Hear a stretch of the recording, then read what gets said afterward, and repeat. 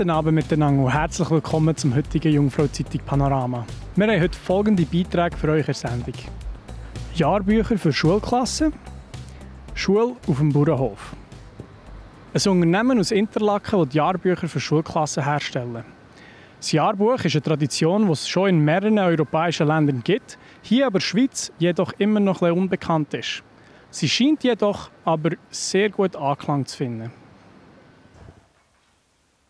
Ihr habt jetzt ein Unternehmen gegründet, das Jahrbücher für Abschlussklassen macht.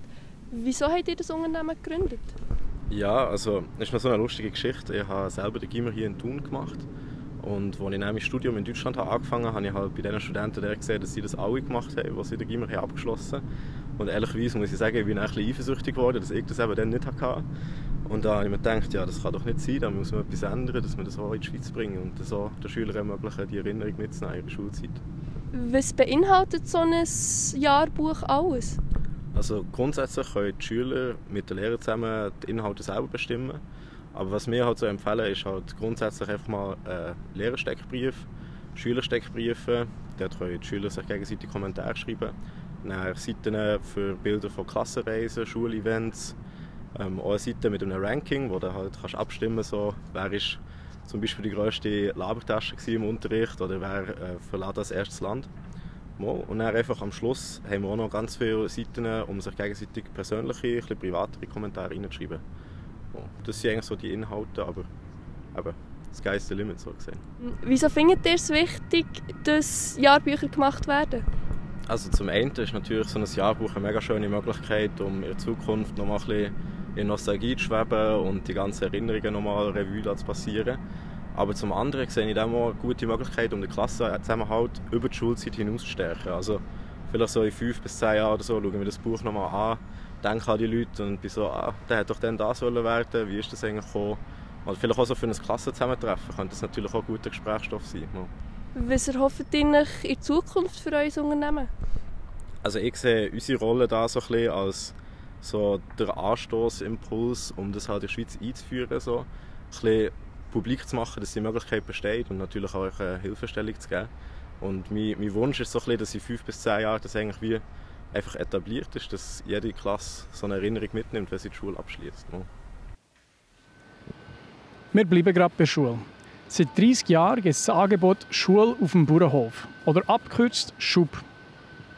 Der Kanton Bern gemeinsam mit dem Berner Bauernverband ermöglicht es da, verschiedene Kinder können ein Leben von einem Bauernhof nachempfinden. Dort dabei ist es auch angesagt, wenn man mal zünftig anpackt. Weiteres erfahrt ihr jetzt.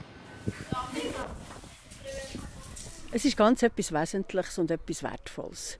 Wenn Kinder in der Schule etwas lernen und, und, und auswendig lernen und vermittelt bekommen, dann ist das wichtig. Das ist wichtig für ihren Wissensspeicher. Wenn sie aber etwas erleben und das auch noch als Klasse gemeinsam erleben und nachher noch weiter daran arbeiten in der Schule, dann bleibt es eben noch viel stärker. Dann bleibt es nicht nur im Wissensspeicher, sondern äh, es wird verinnerlicht und man kann es mitnehmen in die persönliche Entwicklung. Ich glaube, das ist wichtig für Schülerinnen und Schüler, so etwas gemeinsam zu erleben, miteinander Sei es jetzt eben auf einem Bauernhof, wie heute hier, mit Schub, oder manchmal schon in einem Museum, in einem Wald und so weiter. Das sind die außerschulischen Lernorte, die wir sehr wichtig finden und sehr wertvoll finden für unsere Schülerinnen und Schüler. Es ist wahnsinnig schön für die Kinder, wie sie hier auf dem Bauernhof eingebunden werden und können die Arbeiten machen, die ihnen zeigen, woher das Produkt, das sie sind, kommt. Ähm, sie haben wahnsinnig den Plausch, weil es extrem vielfältig ist einerseits Tiere, aber auch Pflanzen. Und sie können mit ganz vielen Sachen etwas machen, etwas tun. Ich finde es eben auch toll, dass es nicht immer eine Pädagogin oder ein Pädagoge ist, der mit diesen Kindern redet, sondern wirklich jemand, der zwischendurch äh, sich nicht äh, eine riesen Mühe gibt, immer die perfekten Worte zu finden, sondern einfach frisch von Leber weg auch mal redet. Ich finde das auch sehr wertvoll und sie hören äh, einem Bauer, der Bäuerin immer ganz gebannt zu. Da wünschte ich mir manchmal, dass das im Klassenzimmer äh, immer auch so wäre. Ich denke, die Regelmäßigkeit und dass es mehrmals ist und dass es auch saisonal verschieden ist. Also die Kinder dürfen bei uns äh, unter einem Jahr mehrere Mal gehen und erleben sie auch Kälte mal und was da möglich ist oder was dort die Arbeit ist im Winter. Sie sehen über das Jahr durch, wie, wie ein Korn wächst, das sie selber gepflanzt haben das äh, mich ganz wichtig, ja. Das war es mit dem heutigen Jungfrau-Zeitung Panorama. Mehr Infos zu den verschiedenen Beiträgen findet ihr online unter www.jungfrauzeitung.ch. Jetzt geht es noch weiter mit dem Wetter von den Kollegen von Meteo News und dann wünsche ich euch allen einen schönen Abend. Ade miteinander. Das Wetter wird euch präsentiert von Made in Bern. Hier ist Jungfrau-Zeitungswetter für den Kanton Bern an dem 21. Februar. Meine Damen und Herren, wo auch wieder viel Sonne und fast schon frühlingshafte Temperaturen gebracht hat. Man sieht, hier, man muss schon recht weit raufgehen mittlerweile, damit man noch geschlossene Schneedecke hat. In den letzten Tagen die milden Temperaturen haben dem Schnee also zugesetzt in der Höhe und die Schneedecke ist ja generell für die Jahreszeit eher dünn und unterdurchschnittlich. Heute haben wir das Hochdruckgebiet hier über dem Alpenraum, wo Wetterbestimmung war. In den nächsten Tagen erreicht uns jetzt ein bisschen feuchtere Luft. Darum wird es dann auch ein bisschen wechselhafter zu und her gehen. Nach einer teilweise klaren Nacht haben wir morgen am Mittwochvormittag zum Teil noch sonnige Verhältnisse, aber in Kombination auch mit ein paar Wolken oder lokalen Nebelschwaden hier im Flachland. Die Temperaturen morgen Morgen verbreitet knapp über dem Gefrierpunkt.